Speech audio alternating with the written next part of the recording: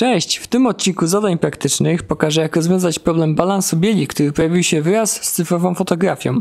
Jeżeli mamy pokój o nietypowym oświetleniu i nietypowej kolorystyce, automatyczny balans bieli sobie z tym nie poradzi, dlatego trzeba go ustawić ręcznie, aby uzyskać kolory takie, jakie widzi człowiek. Jeżeli mamy aparat typu Nikon albo Canon, ma on możliwość rejestrowania zdjęcia w formacie RAW, czyli bez kompresji, bez modyfikacji. Wygląda to gorzej niż na telefonie komórkowym, ale pozwala na dużo więcej. Trzeba przekonwertować ten format, ponieważ każdy producent ma swój, na otwarty format DNG, czyli negatywu cyfrowego, bez kompresji i bez zmniejszania zdjęcia. W taki sposób uzyskamy zdjęcie, które można poprawić kolorystycznie, ponieważ jest ono do tego przystosowane. To jest akurat kamera Bridge, no, ale otwórzmy to no, zdjęcie w y, kamerę RAW. Ten program jest dostępny razem z Photoshopem i Lightroomem. Ok, można zastosować automatyczny dobór kolorów, ale on spróbuje ustawić to w taki sposób, że odejmie trochę w tym przypadku czerwonego i doda trochę niebieskiego, czyli obraz nie wygląda tak, jak wyglądać powinien. Można jednak zastosować próbnik balansu bieli, jeżeli mamy jakąś białą lub szarą kartkę. Tutaj akurat mam profesjonalny próbnik, ale on działa bardzo podobnie. Można też wyprostować, wyśrodkować histogram, ale myślę, że domyślne ustawienia prezentują się w tym przypadku lepiej.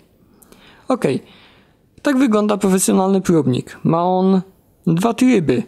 Mamy próbnik szarego i białego oraz próbnik różnych kolorów, takich jak kolory ziemi, kolory podstawowe oraz skalę szarości. Razem z próbnikiem otrzymujemy również program, który pozwala zrobić profil aparatu.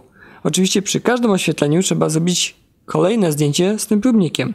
Wybieramy tutaj zdjęcie, gdzie próbnik zajmuje co najmniej 10% fotografii, dzięki czemu kolory są dopasowane właściwie. I w taki sposób możemy zrobić profil, który zostanie zapisany w katalogu z profilami kamery RAW.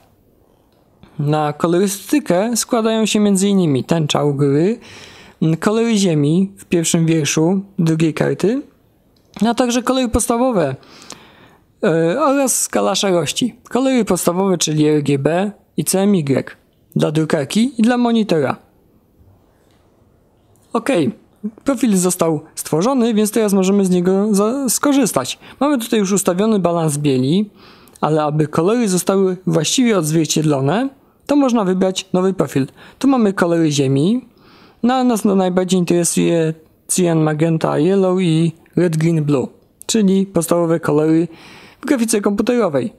Zwróćcie uwagę zwłaszcza na niebieski. Jeżeli wybiorę mój profil, zostanie on dopasowany do idealnie niebieskiego i kolory też zostaną zmienione do prawdziwych, bo nawet jeżeli my nie widzimy faktycznie tych kolorów tak jak istnieją w rzeczywistości, to próbnik pozwoli je dopasować do faktycznego do faktycznych kolorów nie związanych z oświetleniem, czyli można je wykorzystać na przykład w grafice komputerowej jako albedo.